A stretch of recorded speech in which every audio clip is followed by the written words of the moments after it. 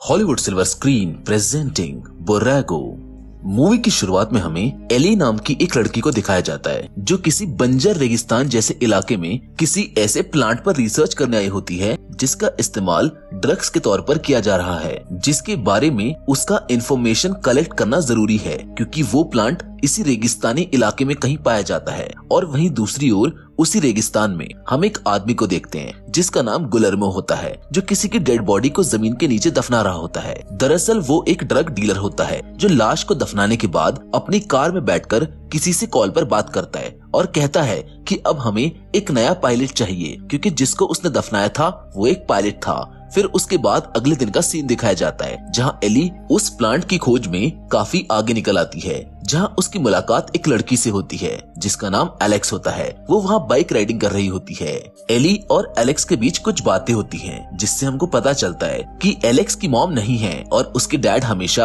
अपने काम में बिज़ी रहते हैं, क्योंकि वो इस टाउन के शेरिफ हैं और इसलिए एलेक्स बहुत अकेला महसूस करती है। पर एली से बात करके उसको बहुत अच्छा लगता है। उन दोनों के बीच दोस्ती हो जाती है। अब शाम भी होने लगी थी। जिसके बाद एलेक्स वहाँ से चली जाती है और फिर कुछ देर बाद रात होती ही एली भी वहाँ से जाने लगती है। पर तभी उसके सामने एक प्लेन क्रैश हो जाता है, जिसको देखकर वो अपनी कार में बैठकर उसके पास चली जाती है, जहाँ पहुँचने के बाद उसको पता चलता है कि प्लेन का पायलट इस क्रैश में बच गया है, जो कि एक स्मगलर होता है, जो ड्रग्स की स्मगलिंग कर रहा था। एली को ये बात पता चलते ही वो अपनी कार की तरफ़ भागते हुए जाती है और उसमें बैठकर वहाँ से जाने लगती है, जहाँ वो स्मगलर उस पर शूट करता है। पर एली के हड़बड़ी में कार चलाने से अंधेरे में उसकी कार एक पत्थर के बीच जा फंसती है और वो स्मगलर भी उसके पास आ जाता है, जो उसको शूट करने ही वाला होता है। पर तभी एली उससे एक सवाल करती है कि क्या तुम्हें पता है कि हम अभी किस जगह हैं? उस स्मगलर को नहीं पता था। कि वो अभी किस जगह है, जहाँ एली उससे कहती है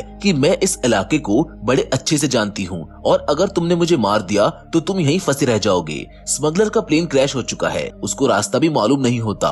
वो एली की इस बात को मान लेता है और उसको कहता है कि तुम मुझे वहाँ लेकर चलो, जहाँ मुझको जाना है सॉल्टन सी और वो एली को बंदी बनाकर अपने साथ ले जाने लगता है। पर पहले वो एली से वहाँ ज़मीन पर गिरे हुए सभी ड्रग्स को कलेक्ट करने को कहता है। और ड्रग्स को एली की कार में रखने के बाद, एली कार में रखे मैप और अपने मोबाइल को छुपा लेती है। क्योंकि अगर स्मगलर को मैप या फिर मोबाइल के बारे में पता चल गया तो वो एली को वहीं मार देगा, जिसके बाद वो दोनों कार में बैठकर जाने लगते हैं। वहीं दूसरी ओर हम गुलरमे को देखते हैं, जो कॉल पर बात कर रहा होता है और उसी स्मगलर का वेट कर रहा होता है जिसका प्लेन क्रैश हो चुका है, जो अब एली के साथ है। गुलरमे को ड्रग सप्लायर से पता चलता है कि स्मगलर ड्रग्स लेकर निकल चुका है। गुलरमे को लगता है कि शायद वो रेगिस्तान में कहीं भटक गया होगा, जिसके बाद हम एक बार फिर से एली और उस स्मगलर को देखते हैं, जिससे एली कई सवाल करती है। पर स्मगलर एली को कोई जवाब नहीं देता, जिस वजह से एली डरने लगती है और उसकी चिंता की वजह से कार आगे रास्ते में एक बार फिर से फंस जाती है, जिसे वहाँ से वो निकालने की बहुत कोशिश करती है,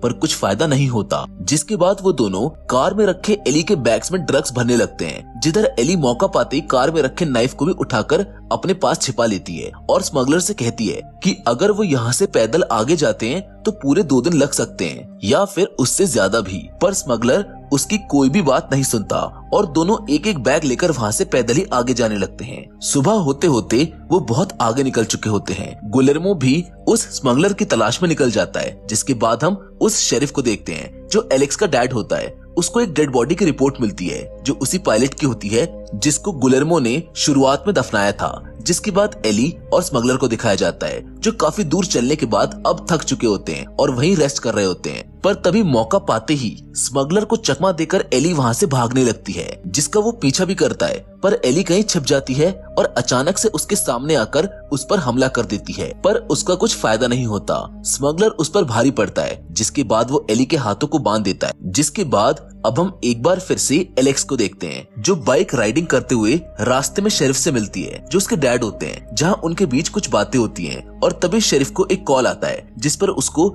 एली के मिसिंग होने की रिपोर्ट मिलती है, जिसके बारे में सुनते ही एलेक्स कहने लगती है कि कल वो एली के साथ ही थी, और फिर वो दोनों उस होटल में जाते हैं, जहाँ एली रुकी होती है। पर वहाँ पहुँचने पर उनको एक लेडी से पता चलता है कि वो यहाँ कल रात से आई ही नहीं है। ये सब जानने के बाद शेरिफ एलेक्स को स्कूल भेज देता है और खुद एली की तलाश में निकल जाता है। वहीं दूसरी ओर गुलरमो स्मगलर की तलाश में उस क्रैश हुए प्लेन के पास पहुँच जाता है, जहाँ उसको ना तो ड्रग्स मिलते हैं और ना ही स्मगलर। पर तभी वहाँ दो बाइकर्स आ जाते हैं, जो गुलरमो से सवाल जवाब पूछकर उसका दिमाग खराब कर देते हैं। गुस्से में आकर गुलरमो भी उन दोनों को शूट करके मार देता है और वहाँ मौजूद एली की कार के पास बने पैरों के निशान को देखकर उनका पीछा करने लगता है। जिधर दूसरी तरफ़ स्मगलर की हालत ज़्यादा चलने ऐसी खराब होने लगती है। क्योंकि उसके पैर में चोट भी लगी हुई थी और वो दोनों कब से लगातार चले जा रहे थे। एली भी स्मगलर से कहती है कि अब हमें कहीं रुककर रेस्ट कर लेना चाहिए, क्योंकि धूप बहुत ज़्यादा तेज है। और अगर वो ऐसे ही चलते रहे तो वो दोनों डिहाइड्रेट हो जाएँगे, जिस पर स्मगलर मान जाता है। वो दोनों रेस्ट करते हैं और कुछ देर रेस्ट करने के बाद फिर से आगे जाने लगते हैं। वहीं दूसरी ओर शरीफ भी एली की कार के पास पहुँच चुका होता है, जहाँ उसको उन दोनों राइडर्स की डेड बॉडी मिलती है, जिसके बाद वो उनके किलर का पीछा करने के लिए वहाँ से निकल जाता है, क्योंकि उसके हिसाब से वो ज़्यादा दूर नहीं गया होगा और गाड़ी के निशान का पीछा करते हुए वो आगे बढ़ता है और काफ़ी आगे जाने के बाद उसको गुलरमो की कार दिख जाती है, जो पहाड़ की चोटी पर चढ़कर वहाँ के इलाके का जायजा कर रहा होता है और शेरिफ को आता देख लेता है। जिधर शेरिफ भी पहाड़ पर चढ़कर गुलरमे को ढूँढने लगता है, जो वही पहाड़ों में छुप जाता है और अचानक से शेरिफ पर शूट करने लगता है, जिसकी एक गोली शेरिफ के हाथ में लग जाती है और शेरिफ भी उस पर शूट करने लगता है। पर इसी बीच शेरिफ एक गड्ढे में गिर जाता है और गुलरमे को लगता है कि अब वो मर चुका है, जिसके बाद वो शेरिफ की कार के पास जाकर उसकी कार को ठिकाने लगाने के बाद स्मगलर की तलाश में वहाँ से आगे निकल जाता है। पर जब काफ़ी देर बाद एलेक्स के डैड, एलेक्स को कोई कॉल या फिर कोई रिस्पांस नहीं करते तो उसको अपने डैड की चिंता होने लगती है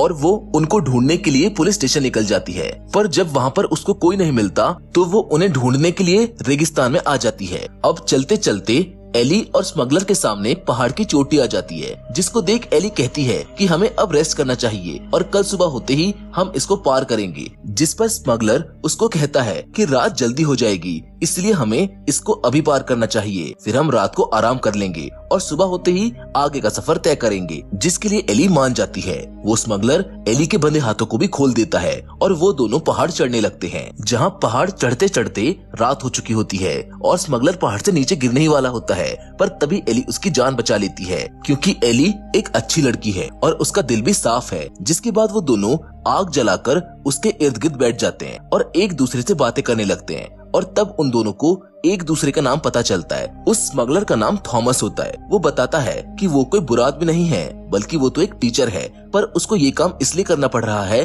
क्योंकि उसके डैड की तबीयत खराब है और उनकी दवाइयाँ बहुत महँगी है, जिस वजह से वो इस कंडीशन में है। जिधर एली भी थॉमस को ये बताती है कि कुछ सालों पहले उसकी बहन की जान चली गई थी और वो भी उसकी वजह से, जिस वजह से उसे उसका बहुत दुख है। और वो तब से घर नहीं गई। ये कहकर उसकी आँखों में आँसू आने लगते हैं और कुछ बातों के बाद वो दोनों सो जाते हैं। वहीं दूसरी ओर एलेक्स उस जगह पहुँच जाती है, जहाँ पर उसके डैड की कार है। रात बहुत हो चुकी होती है। इसीलिए वो टॉर्च की मदद से वहाँ अपने डैड को चारों तरफ़ ढूँढने लगती है, जिधर उसे अपने डैड का बैच ज़मीन पर पड़ा मिलता है, जो उस वक्त गिरा था जब वो गुलरमो से लड़ रहे थे, जिसके बाद वो पहाड़ पर चढ़कर अपने डैड को आवाज़ लगाने लगती है, और शरीफ भी उसकी आवाज़ सुन लेता है, वो भी उसको आवाज़ लगाता है, जिससे एलेक्स को पता चल जाता है कि वो कहाँ पर है। एलेक्स अपने डैड के पास पहुँच जाती है। एलेक्स के डैड उसको बोलते हैं कि तुम यहाँ पर मदद लेकर आओ पर एलेक्स और उसके डैड ये बात जानते थे कि उनके पास इतना वक्त नहीं था। इसलिए वो खुद अपने डैड को